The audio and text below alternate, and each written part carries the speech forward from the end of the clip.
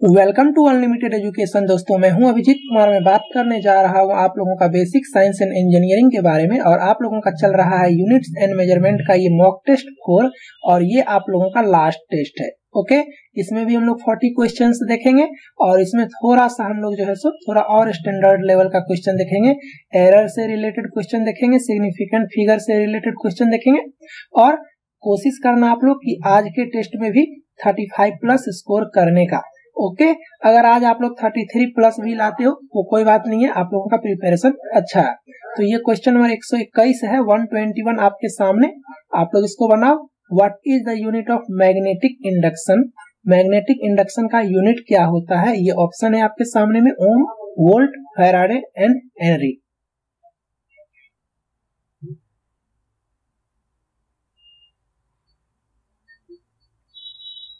आप लोग पॉज करके बनाना। कुछ लोगों का स्पीड फास्ट होता है, कुछ लोगों का स्लो होता है तो आप लोग क्या करना पॉज कर लेना और उसके बाद बनाना, ठीक है? पीडीएफ के लिए आप लोग टेंशन मत लो, काफ़ी ज़्यादा मैसेज आते हैं पीडीएफ के लिए, मैं भेज दूँगा टाइम का थोड़ा सा प्रॉब्लम है, एक ही बार में मैं चारों टेस्ट का पीडीएफ आप लोगों को भेज दूँगा। क्वेश्चन नंबर 122 देखो, आप लोगों का पोटेंशियल डिफरेंस का यूनिट क्या होता है? क्वेश्चन नंबर 122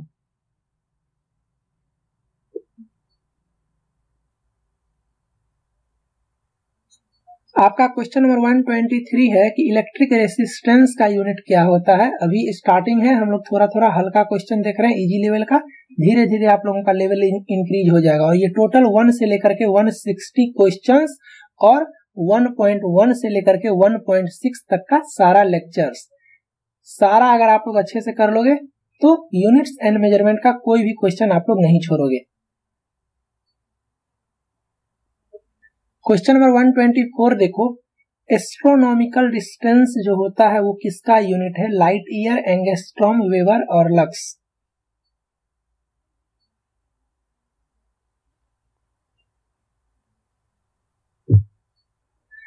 चलो क्वेश्चन नंबर 125 है आपका। वेवलेंथ का जो हम लोग मेजर करते हैं, वो किसमें करते हैं? लक्स वेवर एंगेस्ट्रॉम और लाइट ईयर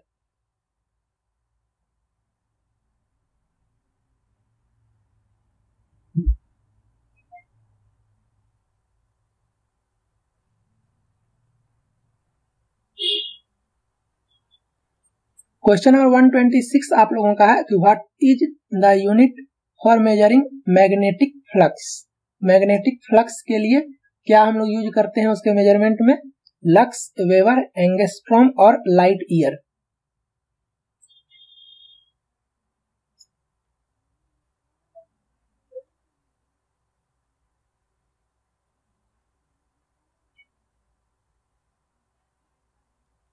चलो क्वेश्चन नंबर 127 देखो ऑडिबल साउंड जो होता है, उसका वेवलेंथ का यहाँ पे बात हो रहा है तो आप लोग इसको भी अच्छे से आज सीख जाओ। बना करके देखो, काफ़ी ज़्यादा अच्छा इंपॉर्टेंट क्वेश्चन है आपका, ये जनरल साइंस के पॉइंट ऑफ़ व्यू से भी। आपका कि इसका रेंज पूछा है कि कितना रेंज में फ्रीक्वेंसी रहता है मेरा, ताकि वो ऑडिबल हो।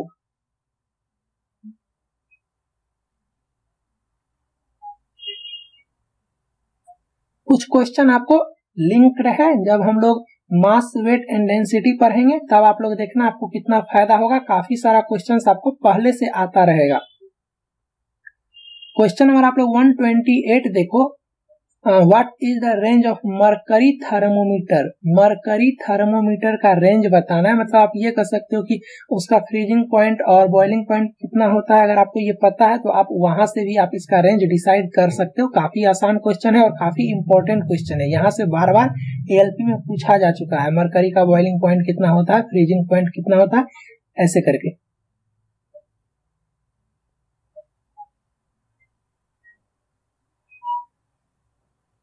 चलो पॉज करके बनाना आप लोग। क्वेश्चन नंबर 129 कौन सा डिवाइस से हम लोग मेजर करते हैं potential difference between two points in a circuit ठीक है? हर तरह से क्वेश्चन घुमाया हुआ है ताकि कहीं से कंफ्यूजन ना हो आप लोगों को। कंसेप्ट पे फोकस करना है, सीखना है। चलो question number one thirty which units we use to express nuclear size nuclear size को एक्सप्रेस करने के लिए हम लोग कौन सा यूनिट यूज़ करते हैं? न्यूटन फर्मी टेस्ला या none of the above twenty second दिसंबर तक थोड़ा सा बिज़ी शेड्यूल है मेरा तो हो सकता है कुछ नंबर ऑफ़ लेक्चर आप लोगों का कम आए, लेकिन ट्वेंटी सेकेंड ट्वेंटी थर्ड दिसंबर से लेकर के जब तक आप लोगों का एग्ज़ाम होगा, तब तक एक महीना मैं अपना हंड्रेड परसेंट दूँगा। और उस बीच में जो है सो आपका लेक्चर आने का स्पीड भी काफ़ी बढ़ जाएगा।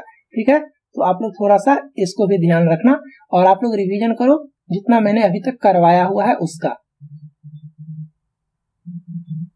क्वेश्चन नंबर आप लोगों का 131 है कि the parsec is the unit of time energy distance और टेम्परेचर और यहाँ से आपको कमेंट करना है कि वन पार्सेक में कितना लाइट ईयर होता है? One parsec equal to how many light years आप लोगों को कमेंट करके बताना है। चलो question number one thirty two tesla tesla किसका यूनिट है? Magnetic flux magnetic field magnetic moment और मैग्नेटिक इंडक्शन ये total 160 questions more than enough है। मार्केट में कोई सा भी बुक खरीद लो। आ, मैंने जो कंटेंट आपको प्रोवाइड किया हुआ है लेक्चर में भी और मॉक टेस्ट में भी वो आप ये समझ के चलो पाँच सात बुक का कम्बिनेशन है ठीक है? कोई एक पार्टिकुलर बुक आपको इतना सारा कंटेंट दे ही नहीं पाएगा। इसीलिए, और मार्केट में कोई अच्छा बुक भी अवेलेबल नहीं है तो ज़्यादा दिमाग खराब करने का ज़रूरत नहीं है। रिवीजन करने के लिए आप लोग 1.6 तक देखो, अच्छे से थ्योरिटिकल पोर्शन को रिवाइज करो, और यहाँ मॉक टेस्ट में 160 क्वेश्चंस जो मैंने आपको दिया है, यहाँ से आप लोग प्रैक्टिस करो। और जिस हिसाब से मैं सोल्यूशन प्रोवाइड करता हूँ, वो सबसे ज़्यादा वाइटल रोल प्ले करेगा आप लोगों के प्रिपेरेशन में। तो उसको आप लोग अच्छे से देखना समझ समझ के, और हो सकता है पॉसिबल हो तो आप लोग नोट डाउन भी किया करना। Question number one thirty three देखो, कि the unit of noise pollution noise pollution जो होता है, उसको हम लोग किसमें मेजर करते हैं? पीपीएम में डेसिबल में डेसिमल में, और none of the above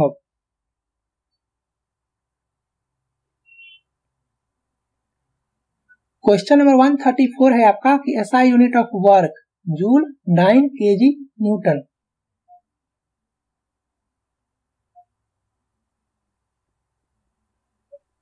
question number 135 देखो मास का ऐसा यूनिट क्या होता है? जितना आसान आपको अभी लग रहा होगा, थोड़ा देर में, आपको फिर लेवल का भी पता चलेगा। क्वेश्चन नंबर 136 देखो फोर्स का ऐसा यूनिट क्या होता है? कुछ लोग बोलते हैं, सर लेवल इंक्रीज कीजिए। देखो चैप्टर के लेवल के हिसाब से क्वेश्चन का लेवल होगा ना। पढ़ रहे हो यूनिट्स एंड मेज़रमेंट तो आपको यूनिट और मेज़रमेंट के ही बारे में पढ़ना है। यहाँ पे लेवल क्या बढ़ा है? Question number one thirty seven देखो the S I unit of pressure is K G joule nine और पास्कल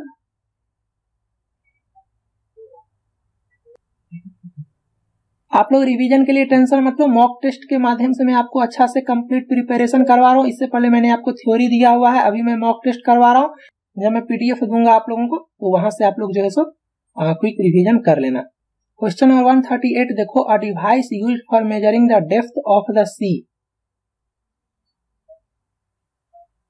repetition भी है ये सब क्वेश्चन में, लेकिन क्या करोगे? इतना ज़्यादा इंपॉर्टेंट है कि याद रखना भी ज़रूरी है। Question number one thirty nine thermostat क्या होता है?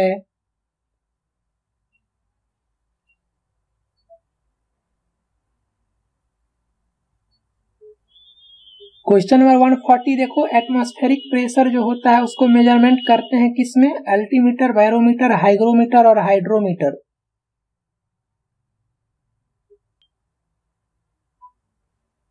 क्वेश्चन नंबर 141 है आपका कि one astronomical unit is the average distance between Mars and the sun Earth and the sun Jupiter and the sun Earth and the moon काफ़ी ज़्यादा important concept और confusing question आप इसको कह सकते हो।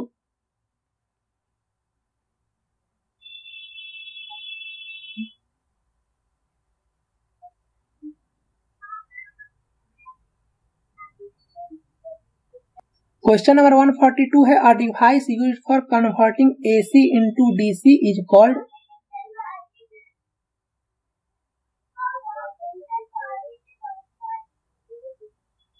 मैंने आपको अच्छे से बताया हुआ है बैकग्राउंड नॉइज़ को आप लोग अवॉइड करना। मेरा जो घर है, इसके बगल में ही मेन रोड है तो वो व्हीकल वगैरह चलता रहता है। इस वजह से आपको बैकग्राउंड नॉइज़ मिलता होगा तो उसको आप लोग अवॉइड करना। क्वेश्चन नंबर 143 है आपका which of the following devices converts electrical energy into mechanical energy और ये सारा आपको बताया हुआ inductor dynamo transformer electric motor मेरा हर एक लेक्चर एक दूसरे से लिंक्ड होता है। अगर आप अच्छे से देखे होगे वन टू थ्री तो ये फोर्थ में आपको काफ़ी ज़्यादा हेल्प मिल जाएगा।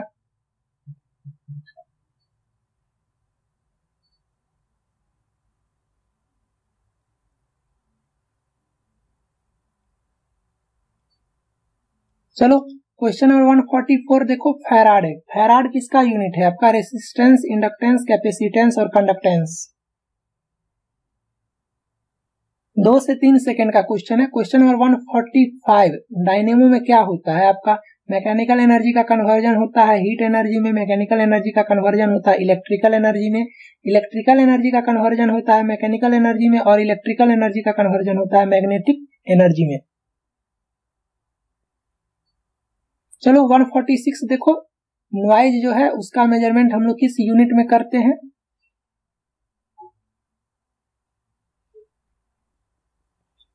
क्वेश्चन नंबर 147 है आपका।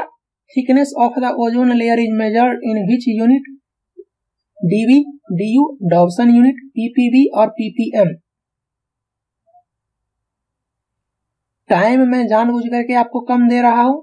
पॉइंट नंबर वन कि आप पॉज करके बना सकते हो। पॉइंट नंबर टू ये आपका लास्ट रिवीजन टेस्ट है इस चैप्टर का। तो अभी तक आपको सारा चीज़ आना चाहिए। पॉइंट नंबर थ्री के मैंने सिक्स लेक्चर आपको ऑलरेडी प्रोवाइड किया हुआ है। इतना ज़्यादा पढ़ाने के बाद भी अगर आप लोगों को प्रॉब्लम होता है तो फिर आप लोग पढ़ो।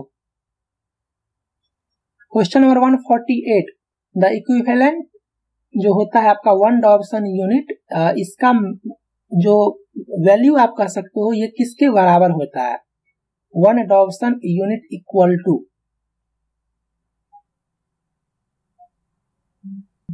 Question number आपका 149 है, एनिमोमीटर, ये क्या मेजर करता है? Net radiation wind velocity wind direction relative humidity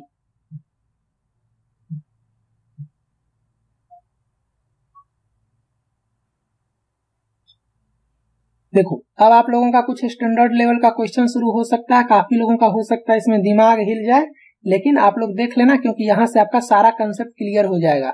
ये आपका डाटा दिया हुआ है ten centimetre twelve centimetre nine centimetre eight centimetre thirteen centimetre और क्वेश्चन के हिसाब से आपसे पूछा गया कि मीन एब्सोल्यूट एरर कितना होगा, और ये चार ऑप्शन है आपका।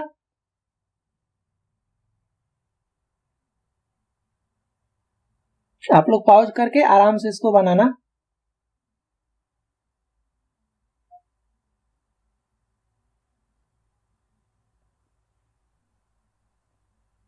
तुरंत नहीं बनेगा आपसे ये। पॉज करके बनाना। क्वेश्चन नंबर 151 देखो।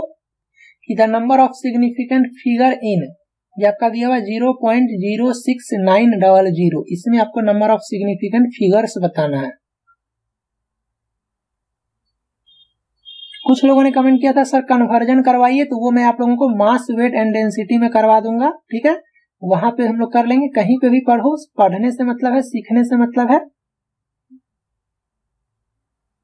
और वैसे यहाँ पे भी आपको एक क्वेश्चन दिखेगा कन्वर्जन का काफ़ी ज़्यादा standard question one fifty two देखो कि आपका ये है डिजिट दिया हुआ, तीन नंबर आपका दिया हुआ है। Four thirty six point three two two twenty seven point two और zero point three zero one और आपको इसका सम करके और अप्रोप्रिएट सिग्निफिकेंट फिगर के टर्म में आपको बताना है कि इसका वैल्यू कितना होगा, इसका समेसन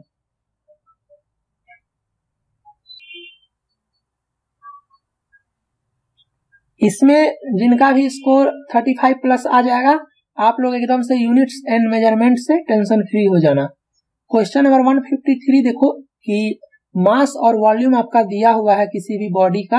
आ, मास आपका है 4.237 ग्राम और आपका वॉल्यूम दिया हुआ है 2.5 सेंटीमीटर क्यूब और आपको बताना है इसका डेंसिटी कितना होगा और ये भी आपको करेक्ट सिग्निफिकेंट फिगर के टर्म में ही बताना है। और ये चार ऑप्शन है आपका।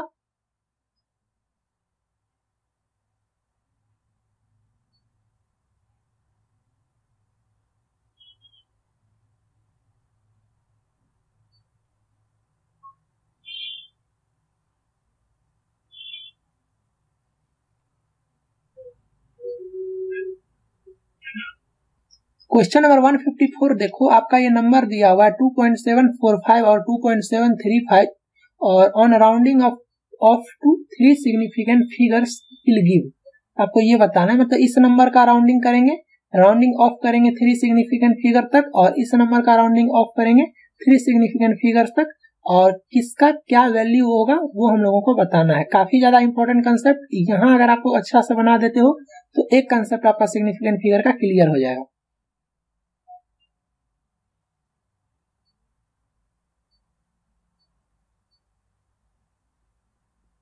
क्वेश्चन नंबर 155 है आपका कि the length and breadth of a rectangle sheet are 16.2 centimetre and 10.1 centimetre respectively the area of the seat in appropriate significant figures and error is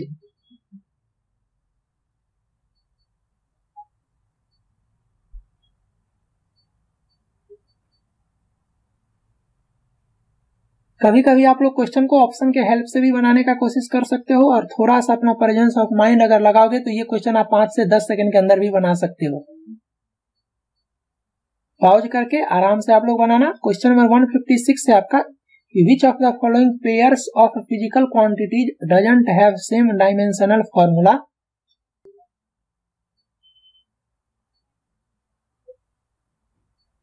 Question number 157 कि which of the following measurement is most precise ये आपका चार data दिया हुआ है और इसमें से आपको बताना है, कुछ नहीं है क्वेश्चन में, सिर्फ़ आपको ये बताना है कि इस चार डाटा में से कौन सा डाटा हम लोगों को ज़्यादा एक्यूरेट रिज़ल्ट देगा मेजरिंग के केस में?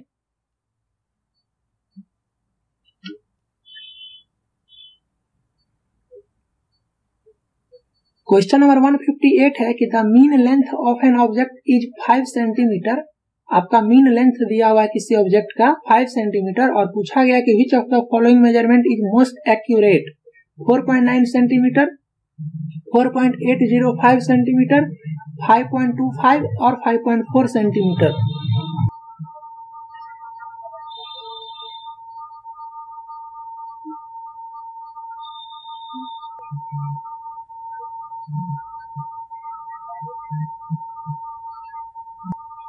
क्वेश्चन नंबर 159 देखो कि यंग्स मॉडुलस आपका दिया हुआ है, ये डाटा दिया हुआ 1.9 point nine into ten to the power देखो ये 10 टू दी पावर 11 है न्यूटन पर मीटर स्क्वायर और आपको बताना है कि जब इसका हम लोग कन्वर्जन सीजीएस में करेंगे डाइन्स पर सेंटीमीटर स्क्वायर में तो it will be equal to कितना हो जाएगा इसका वैल्यू और ये आपका ऑप्शन में दिया हुआ है, थोड़ा सा हिंट किया हुआ है कि वन न्यूटन में ten to the power five dyne होता है और वन मीटर स्क्वायर में ten to the power four centimetre square होता है। वैसे इसको यहाँ नहीं देना चाहिए, लेकिन आप लोगों को ये दे दिया है। मतलब क्वेश्चन को और इजी कर दिया है। अब आपको बताना है। ये कन्वर्जन से क्वेश्चन है आपका। अगर ये आप बना लेते हो तो समझो कि आप S I to CGS conversion जान गए।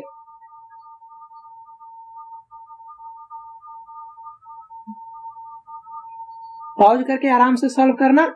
वीडियो को ज़्यादा लंबा करने से कोई फ़ायदा नहीं है। मेरा मेन मकसद है आपको क्वेश्चन प्रोवाइड करना, ठीक है? आप लोग पॉज करके बनाओ अच्छे से और जब आंसर सीट दूँगा, तब आप लोग अपना अपना स्कोर कमेंट करना और सॉल्यूशन ज़रूर देखना। सॉल्यूशन से ज़्यादा फ़ायदा होगा। आप क्वेश्चन नंबर 160 देखो कि अगर मोमेंटम को पी से रिप्रेजेंट करते हैं एरिया को ए से रिप्रेजेंट करते हैं और टाइम को टी से रिप्रेजेंट करते हैं, या इस तीनों को हम लोग फंडामेंटल क्वांटिटी मान के चलते हैं, तब हम लोगों को इस तीनों के टर्म में एनर्जी का डायमेंशनल फॉर्मूला बताना है।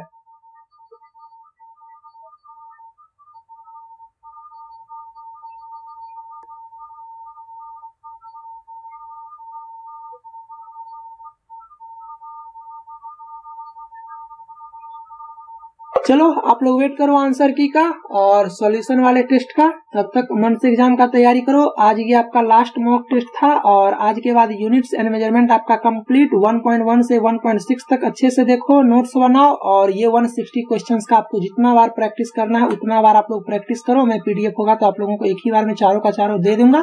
ठीक है? और चलो, मिलते हैं नेक्स्ट लेक्चर में। Thank you